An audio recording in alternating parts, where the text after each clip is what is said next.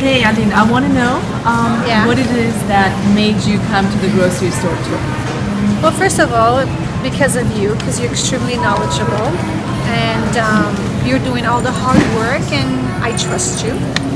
And um, I just, I know that by watching you, it's gonna help me eat better and uh, feel better. What specifically did you say you learned from this grocery store tour? Just knowledge. You gave me knowledge, tools, or just things to watch out for, things to avoid, a little.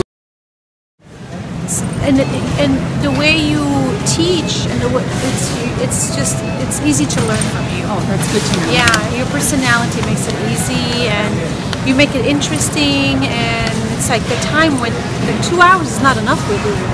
I'm thinking while you were talking like okay when can I have it for three hours just for me? I just want to learn and learn and learn, you know? Um, knowing you is like a shortcut to things in life, you know?